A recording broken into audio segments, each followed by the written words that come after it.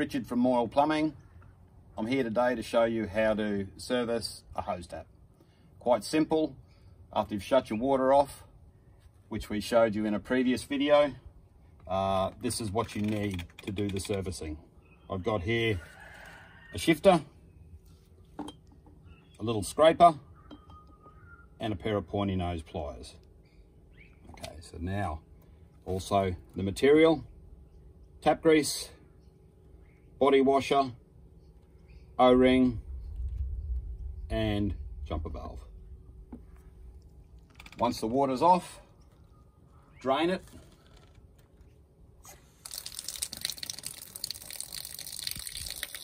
Okay. Once that's drained,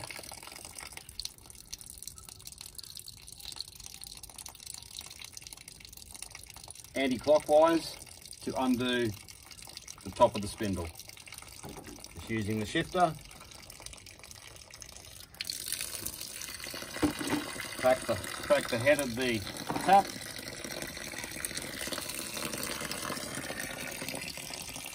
Just draining out the rest of the water.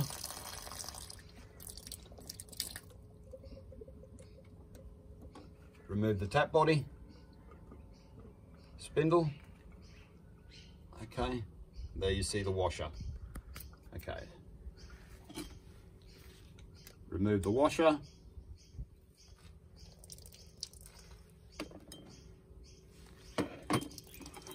I use the scraper just to remove the body washer.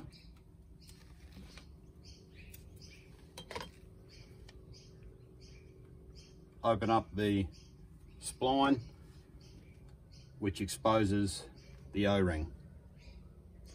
With a pair of pointy nose pliers, just grab the side of the O-ring and pull it off the spline. New O-ring, just roll it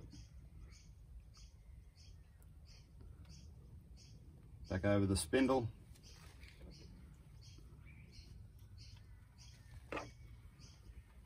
Now because the tap handle doesn't really come off, we don't advise to take that off. We just open it up as far as we can to expose the intersection of the spindle.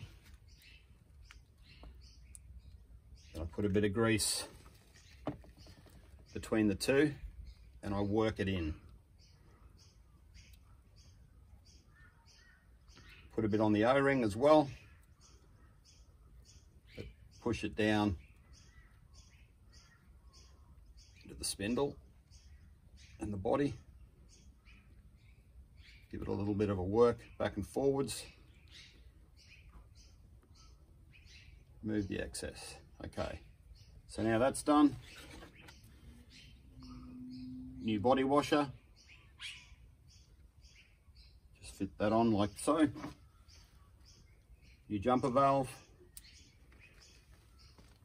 and insert clockwise, put it back in, shifter, tighten it up, and turn it off.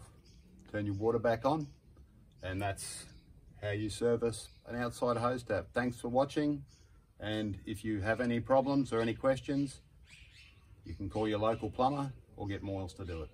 Thank you.